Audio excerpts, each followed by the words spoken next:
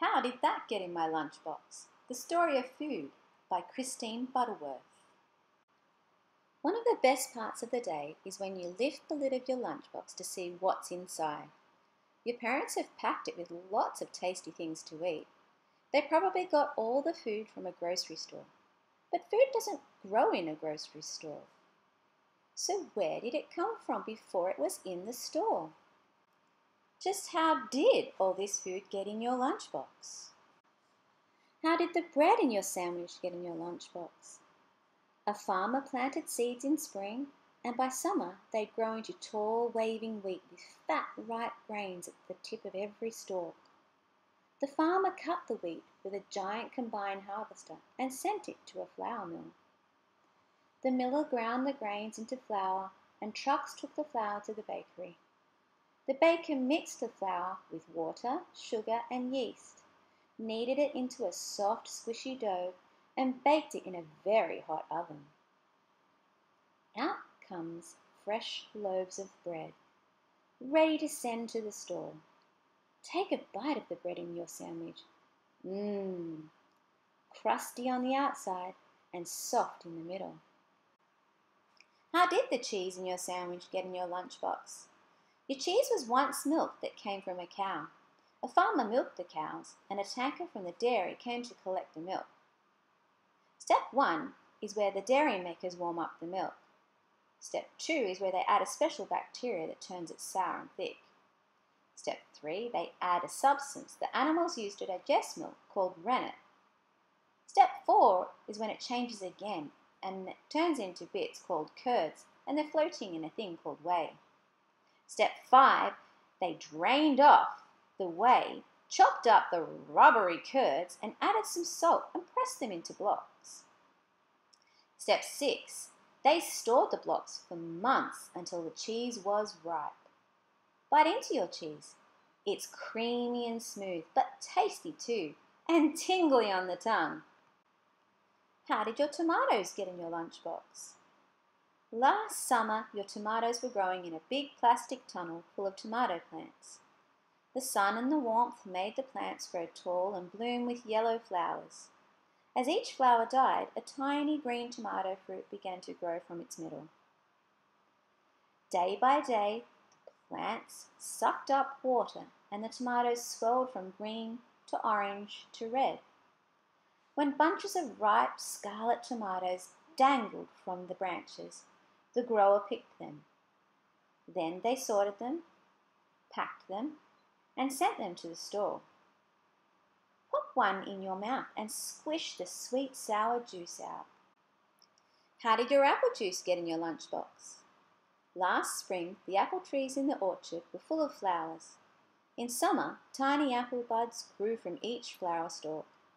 The buds kept growing, and by autumn, the trees were full of ripe, sweet fruit. Pickers climbed into the trees and filled their bins with fruit. A truck took the bins to the juice factory, where sorters threw out any rotten apples. Then a machine washed the rest and mashed them in a milling machine, seeds, skin, and all. A huge press squeezed the mash till all its juice ran out. A heater warmed up the juice to kill off any germs and poured it into cartons. Mmm. Suck hard on your straw and taste the apple tang. How did your carrots get in your lunchbox? Last spring, carrots were growing in a field on a vegetable farm. You wouldn't have seen any carrots then, just long rows of feathery leaves. As the leaves grew taller in the summer sun, each carrot root pushed deeper into the earth, soaking up water and turning orange. By late summer, they had swelled so much that the top of each carrot poked out of the earth. Pickers pulled them up. Then the carrots were washed and packed into trucks. Bite into your carrot. See just how sweet and crunchy it tastes. How did the chocolate chip in your cookie get into your lunchbox? Cookies are made from flour, sugar, and butter, and this one's got chocolate chips in it. Chocolate starts off as a bean.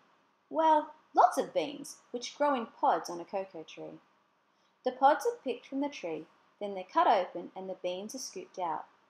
These beans are spread out and left to dry in the sun. The dried beans are taken to a factory, sometimes on the other side of the world. In the factory, they're cleaned, roasted, and ground into a thick, sticky paste. Sugar's mixed in so the paste gets sweeter, but it's still gritty, so it's squeezed, stirred, melted, and cooled to make it really smooth. It takes a lot of work to make chocolate. Finally, the chocolate is molded into blocks.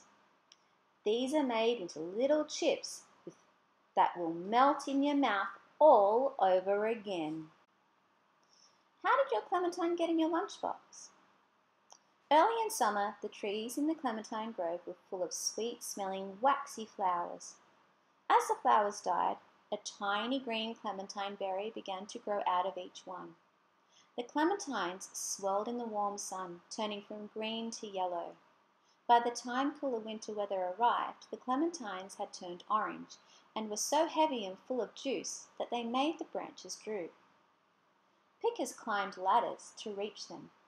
They had to wear gloves so they didn't bruise the tender fruit inside the skin. They washed them and packed them, and the grower sent the boxes in trucks to the market. It's easy to peel a clementine. Then all you have to do is pop the juicy pieces in your mouth and bite. Most clementines are seedless. You've eaten it all, from the first bite of bread to the last piece of fruit. It came from fields and farms, from orchards, from groves, and from dairies. So many people help bring it to you farmers and bakers, cheese and chocolate makers, pickers, packers, and truck drivers. And now it's all in your stomach, starting to do the job that food does, helping you grow taller and stronger and giving you get up and go. You need more than lunch to make you grow and keep you healthy. Every day you need to choose food from each of the sections on this plate. Most of your food should come from the fruits and vegetables and carbohydrate sections. Carbohydrates are the types of food that fill you up fast and give you energy to keep you going. And we all know what fruits and vegetables do. Our body needs lots of these to keep you healthy. Then, on the other side of the plate, we have foods that are just as important as carbohydrates and fruits and vegetables, but your body doesn't need as much of them, like protein.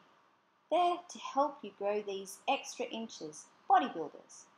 Then you've got the dairy builders, which are the bone builders, and they help your teeth grow strong too. And then there's the stuff you eat for a treat. Just a little bit of these ones. Food facts. Your body is made mostly of water, so you need at least six drinks a day to keep yourself topped up. Most of these drinks should be water, not fizzy drink, which has lots of sugar in it. Your body is growing all the time, even when you are asleep. So remember, don't skip breakfast. It gets your body through the day. Too much sitting around won't keep your body healthy. It doesn't matter whether you chase a ball, your dog, or your friends, but spend about an hour a day on the move. It's good to eat five different kinds of fruits and vegetables every day. Hey, why not try a new one this week?